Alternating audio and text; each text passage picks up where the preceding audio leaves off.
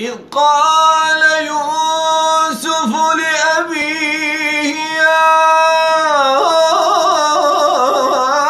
أبت إني رأيت أحد عشر كوكبا والشمس والقمر رأيتهم لي ساجدين.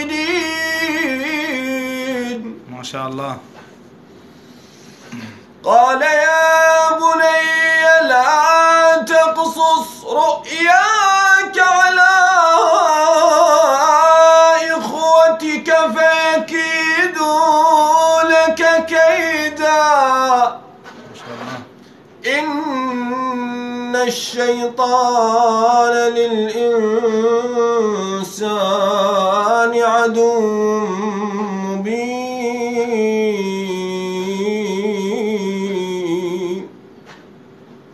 صدق الله العلي العظيم.